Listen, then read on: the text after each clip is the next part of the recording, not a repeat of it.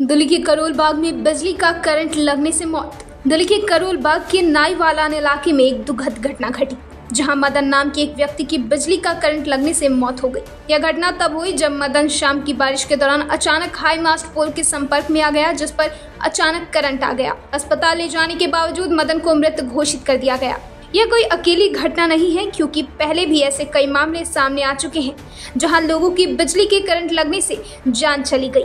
पहले की है वो यहीं था उसके पास गया खंबे के वहाँ पे नीचे की तरफ़ तो वहाँ से उसे करंट लगा। करंट लगने के बाद फिर दो लड़कों ने वहाँ से इस डंडी को तोड़ के उसे पीछे खींचा। उसके बाद रिक्शे पे बिठा के पुलिस कॉल करी थी उसे आने में देर लग रही थी तो दो रिक्शे पे बिठा के लड़कों ने उसे लेके गए हॉस्पिटल। रिक्शा चालक था वो? हाँ रिक्शा चालक था ये उसी का रिक्शा है जो खड़ा हुआ है। हाँ। अभी थोड़ी देर पहले की आधे घंटे पहले की है। कुछ नाम वाम पता जग्गा जग्गा यहाँ तो बोलते हैं सब। जग्गा जग्गा। हाँ। यहाँ पे उसके परिवार वगैरह कोई? परिवार तो कोई नहीं है शायद एक लड़का है उनका। वो भी शायद उनके साथ में गया हुआ है कहीं उधर।